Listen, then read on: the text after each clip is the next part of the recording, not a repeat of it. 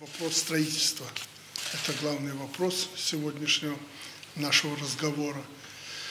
Вы помните, в старые добрые времена мы приняли концепцию будущей застройки и приведения в порядок Минска и договорились о том, что потихоньку, это насколько мне получится, будем сворачивать строительство в Минске и выносить его в города-спутники чтобы не, не повторить печальную судьбу э, родственных нам городов. Возьмите Киев, возьмите Питер, я уже не говорю о Москве, когда ресурсы трудовые в том числе стягиваются в одно место.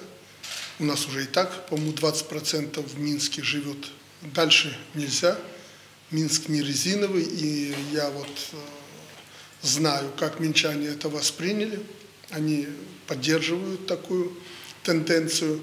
Да и города-спутники определены, они недалеко, и главное, чтобы связь была транспортная и рабочие места.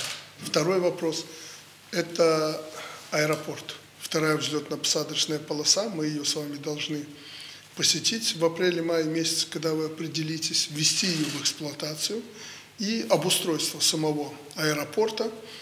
И Помните, мы договаривались о том, что мы обеспечим надежную связь Минска с этим аэропортом, чтобы люди не только на автомобилях, личных автомобилях могли свободно туда приехать, но не все имеют такую возможность. Мы должны были запустить электричку с учетом существующих железнодорожных путей, эм, сделать это достойно, как там у нас будет стройка продвигаться. Надо в этом году, максимум в будущем, реализовать эту идею. Хотел бы услышать от вас о строительстве на месте старого аэропорта в Минске, как идет строительство там, какие там есть проблемы. Это знаковое место. Потом вы вносите ряд предложений по строительству домов арендного жилья, в том числе пилотный проект по строительству для очередников, которые желают в Смолевичах э, жилья. Это правильно делают люди. Просто люди должны понимать, что мы каждый год, вот после вторых европейских игр особенно, усиленно будем сокращать э, объемы строительства в Минске. Поэтому тот, кто поймет это раньше всех, тот и выиграет. Я знаю, что около полутора тысяч, а может уже и две тысячи очередников хотят строиться в Смолевичах, будем поддерживать это. Ну, также и в других э, городах-спутниках. Но принципиальный вопрос о цене строительства.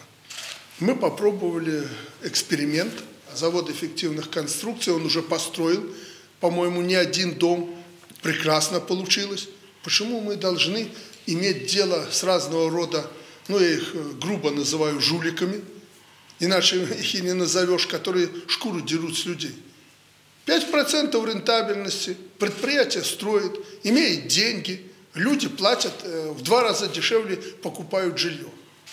Я думаю, нам надо изучить этот опыт, при том времени на это практически нет. Мы уже попробовали разные методы, и нам надо, если это для людей удобнее, это будет распространено на всю республику. Мы этим путем пойдем.